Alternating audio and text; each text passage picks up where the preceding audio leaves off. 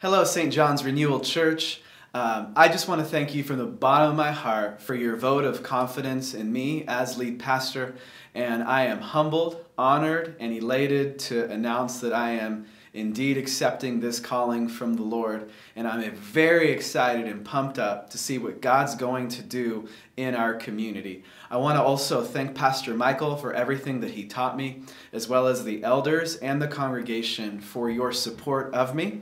We have a huge opportunity to see many people come to love and trust in Jesus as Lord and Savior. And I pray that Luke chapter 19, verse 10 would be our guiding verse in this next chapter where Jesus says this The Son of Man came to seek and to save that which was lost. May we partner together to the glory of God and to see many people come to know Jesus as Lord and Savior. Thank you very much, and I can't wait to see you soon. Take care. Bye bye.